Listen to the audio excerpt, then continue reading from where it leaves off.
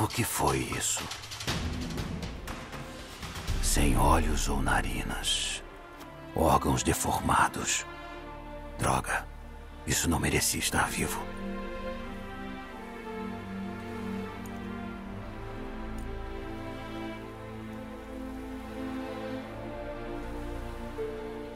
Bem, filósofos ainda debatem o que exatamente significa estar vivo.